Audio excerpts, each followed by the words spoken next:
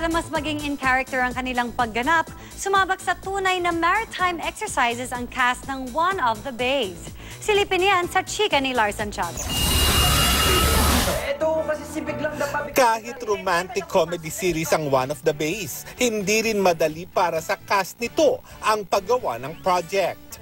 Kinakarir nga raw ng mga bituin sa pangunguna ni Narita Daniela at Ken Chan ang mga eksena. Talagang pinaghahandaan po ng one of the base yung mga eksena na ginagawa namin. Isang sequence, alaabutin kami ng dalawang oras, tatlong oras kasi talagang ah, mabibigat, ang daming nangyayari. Medyo nahirapan kami kasi nasasabayan po kami ng bagyo.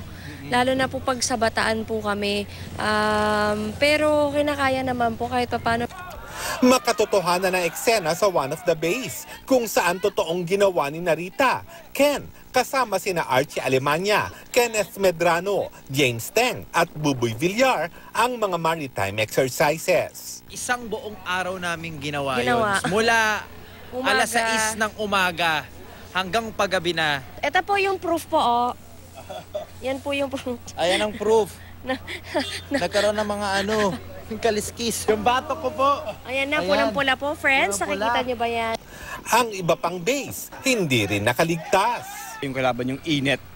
Kasi yan po, sa totoo yan po. Grabe talaga yung itim namin. Yan, yan, yan, Oh?